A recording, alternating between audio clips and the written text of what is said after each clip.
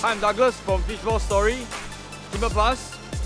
And uh, what's so special about Fishball Story is that we handmade our fishball, fish cake, fish dumpling, traditional, yet have a little bit of a modern twist. Hi, my name is Dylan here. I'm from the Masses.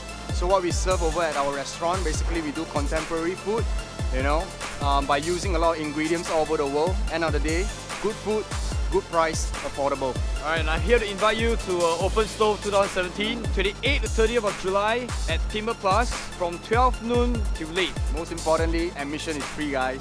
Plenty of gastro fun activities involving 9 pairs of chef collabs between Timbre Plus chefs and young hawkers. This year we will be presenting Mei Ren Mian. Okay, translation. Beauty noodle. So what we do is taking chicken bones and boil it up to about 12 hours, extract the collagen up. Then what we do, get in a very good ramen udon. At the same time, Douglas and his handmade fish ball, where we're gonna add a little bit of twist to the fish ball by adding a little bit of squid ink, a little of different other stuff in it to make it our own version of ramen.